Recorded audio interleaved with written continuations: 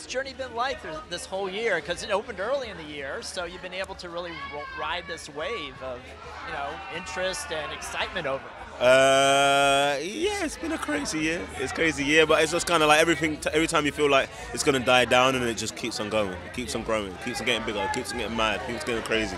So it's it's beautiful. It's a beautiful thing, and that you're part of something that's just telling the truth, and and and shows a spotlight on people that don't usually get seen. So it's amazing to have this moment with that. Uh, Oscars tomorrow. How are you preparing for this? Sleeping. Sleeping is hard. It's hard because you get like, oh my god, the Oscars tomorrow. But um, I'm gonna sleep. I'm gonna chill. I'm gonna vibe with my people, and that's about it. Well, you're here at the beach today, so what better way to chill, right? Chill by the beach. How's this for an award show? This is cool. I don't know. I haven't gone in yet, but this is pretty chill. Everyone's pretty chill. Everyone's pretty laid back.